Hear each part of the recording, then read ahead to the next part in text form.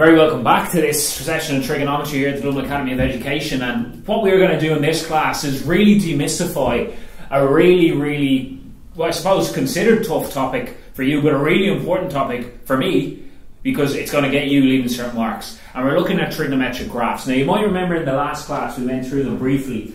What I want to do though is before we go back to those graphs that hopefully you've got off and you've memorized what they represent, I want to show you this idea here.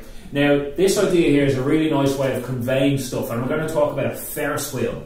Many of the mocks have questions on Ferris wheels, and they discuss Ferris wheels, so it is a lovely way for us to, to understand what's going on. But let's just say the exact same point will go for like if you see questions with tides, you see questions with uh, fishing lines or breathing. I think we're going to go into or blood pressure. There's random stuff. They all the same thing. I'm just going. I'm only using a Ferris wheel because it's easy for us to conceptually understand what's going on.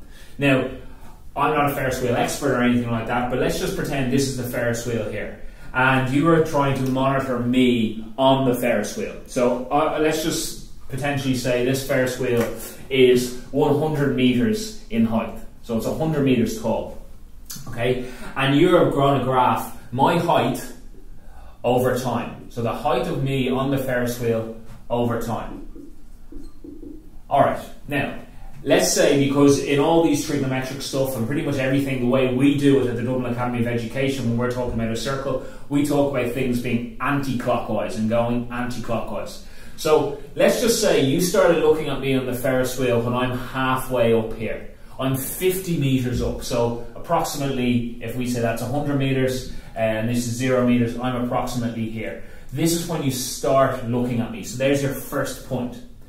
If the Ferris wheel starts traveling anti-clockwise, as in starts going around but it's going anti-clockwise like this, let's just say you clock me again when I get to the very top. I'm at the very, very top here. I'm at 100 meters, so maybe I'm here. Okay, then the Ferris wheel continues on around and we get to 50 meters up, but we're not in the same position. We're on the other side of the wheel, so we're here. So you clock me and you put me on my uh, on my wheel here, and then I keep going around, and then suddenly I'm down at the bottom. Okay, so I'm down here. I'm down at zero. Fine. So you clock me and I'm around here. So I'm just graphing this time against the, uh, against this here. Then I'm going around for a second go around this Ferris wheel and it brings me back exactly to where I started in terms of the Ferris wheel, this first star here. Back in exactly where I started in terms of height. But on this graph over here, I'm not in the same position. If I actually connected these dots together now in some sort, like I'm not going to draw in a straight line, but in some sort of curve,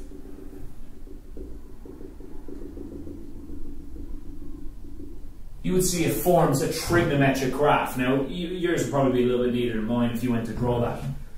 Now, if I went round that Ferris wheel again, it would do the exact same thing. It would go around up to the top, down to the 50 metres on the other side, and around again.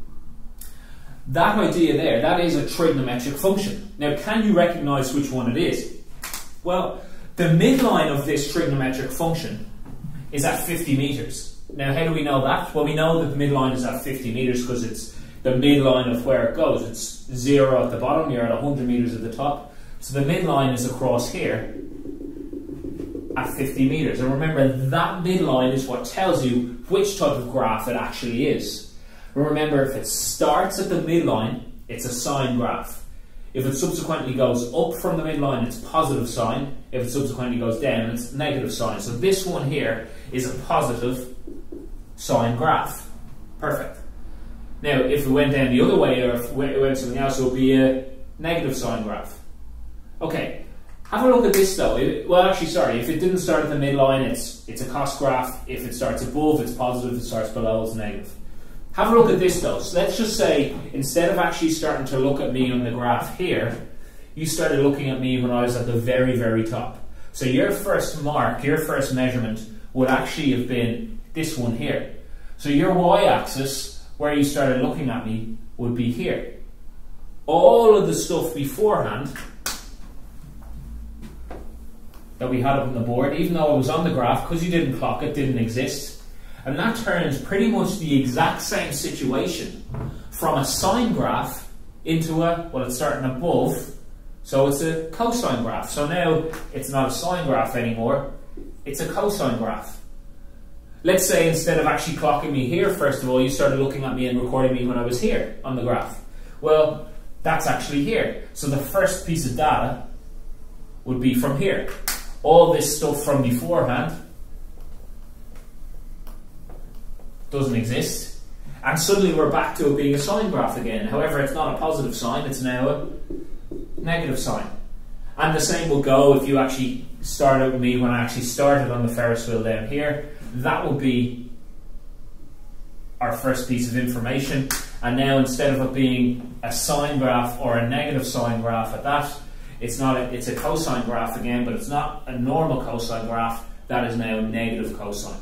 Now the reason I'm showing you that is because they are all interchangeable. They're all pretty much the same thing. Remember, it only matters where you start off looking at. So that's very important that you're aware of that. So you can actually have a look at a graph and tell what it is. Now, as I alluded to in the last class, we have to be able to take something like, say, this 5 sine 3 of x plus 2, and we have to be able to turn it into a graph, or turn it into a sketch, and we have to be able to take one of those sketches and turn it back into a, a function like this. And for me, it all is based around this idea here. A sine of b of x plus c. That's what I call my generic formula. My generic formula. So what I'm going to do is I'm going to sketch this piece out for you here. I'm going to sketch this piece out for you here. Now, as you can see, this representing with this, we've got A, B, and C.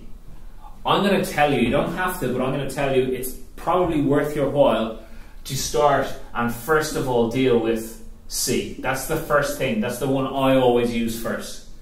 C actually represents the midline. So that famous midline we were talking about before. That's what C represents. It represents the value of the midline. So if I was to draw the sketch of this up on the board, there's my y-axis. I know my midline here is at, what in this case, 2. Grand. That's the first thing I look at. The second thing I would look at is B. Okay, so that's the, that's the second one. B, or sorry, not as B, is, is A. So that's the second thing I would look at. The second thing I look at is A. A stands for the amplitude.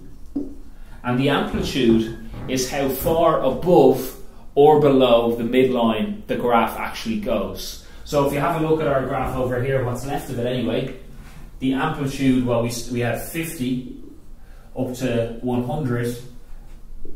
The amplitude was 50. There's the amplitude. And there's the amplitude. Now you don't have to draw it in or anything like that but that's what it represents.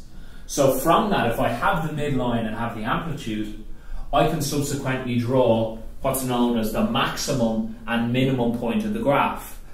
In this case, the amplitude is 5, so I know that this graph will go 5 above the midline and 5 below the midline. So in this case, it goes up to 7, and 5 away from that goes down to minus 3. Okay. And maybe you're kind of saying, okay, why uh, why is it minus figure, David? How can your Ferris wheel be below the surface? Well, remember, these don't all represent Ferris wheels. There could be other things. It might be below the surface of maybe water. It might just be a random maths example that has no application in real life examples. So don't worry too much about that.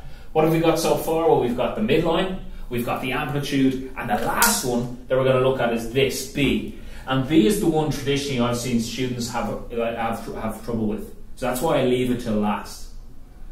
B is involved with something called the period.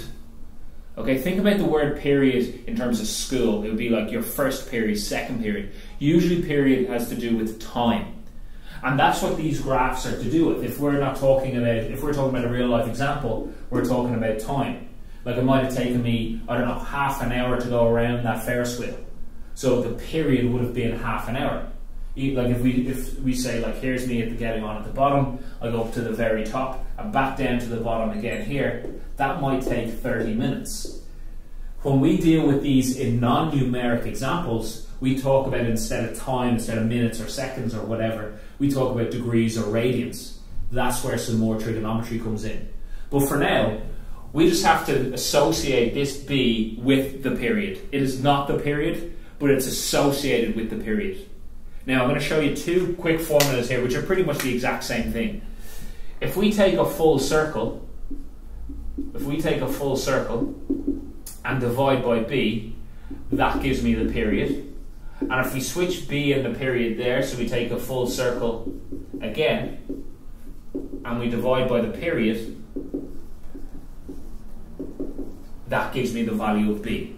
Okay, now if I'm sketching this graph up, the fact that I know it's a sine graph means that I can, there's one rotation, one run through, one of the circle or whatever you're representing there, there's one, one through there. Here is the period here, the amount of time or degrees or radians that it takes for us to go through that. How do we get it? Well, it's to do with b. It's to do with b. In this case, our b is 3, there, our b is 3. So if we want to find what the period is, we take a full circle divided by b, and that gives me the period. Okay, so a full circle divided by b. David, what's a full circle? Well, a full circle is either 360 degrees or 2 pi, if we're talking about radians. Okay, so 360 degrees or 2 pi. Let's just go with degrees for now. If I want to find out what this figure is up here, for this sketch that I'm drawing, I'm going to take a full circle, which is 360. I'm going to divide it by 3, which gives me 120 degrees. So my period is 120 degrees. Okay, so what I have done, I know it's a little bit, it's, it's, there's a few different things going on here. Essentially, what I have done is I've taken this function and I've turned it into a sketch here. That sketch represents this function here, the exact same way we had before we had U or N-shaped graphs representing parabolas or representing quadratics. Okay, so skill number one that we have to be able to, to do is we have to be able to take a, a function and turn it into a sketch, and we also have to subsequently go the other way.